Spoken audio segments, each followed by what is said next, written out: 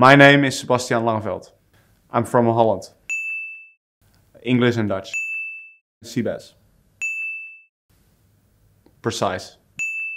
Uh, for a big race I always have to have a full new kit. Like uh, for Flanders or Roubaix, everything has to be new and uh, even the glasses and the things and that's uh, it's kind of a habit. Roubaix. Such a big race, uh, such a history, uh, the cobbles, the, the circumstances, the guys who won there in the past, the showers after. Fun. Probably bad deal.